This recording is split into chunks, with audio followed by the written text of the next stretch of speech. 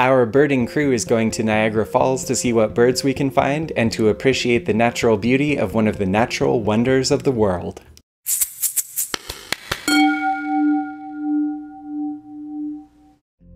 The Niagara River is a beautiful tourist destination, but we're not here just to look at the scenery. We are looking for birds. We start in the Dufferin Islands. This nature area is an easy walk away from the big waterfalls. We arrived just after sunrise. Things were peaceful and clear. I'm curious what we will find. A cormorant was diving for fish and mallard ducks were getting ready to start the day. The Niagara River is a designated Important Bird Area, providing food and habitat for lots of birds. Canada geese were teaching their young to forage.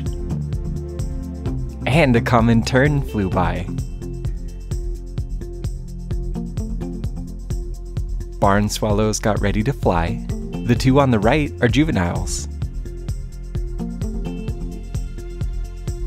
This bird was identified by its song.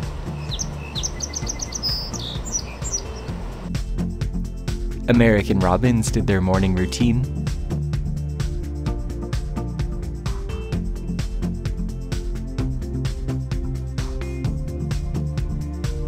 Hundreds of thousands of birds spend part of the year here.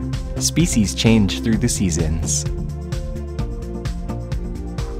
A cardinal sat in a tree.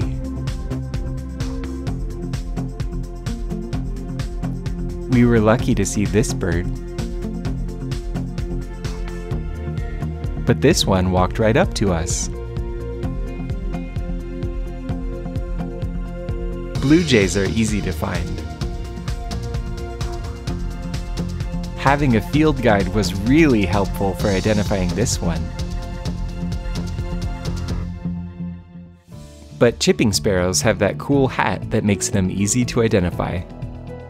A gray catbird was hopping around, and a great egret flew by. We also found some non-bird species, like this hive of bees getting ready for the day.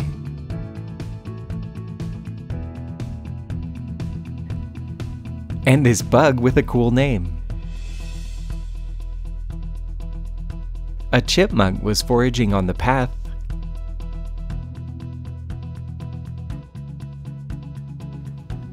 And we saw a woodchuck swim for the first time.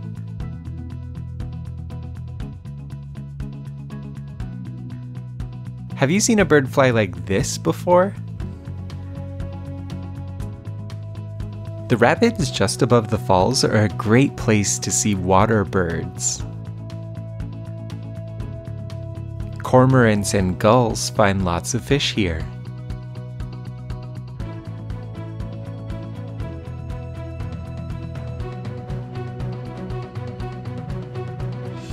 The river is a migration path as birds move with the seasons. Protecting the water and nearby forests will ensure that birds have food and shelter for years to come.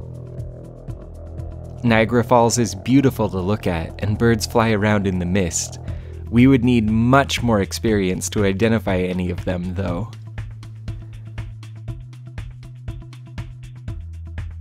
But seeing this natural wonder was a great way to end a day of birding.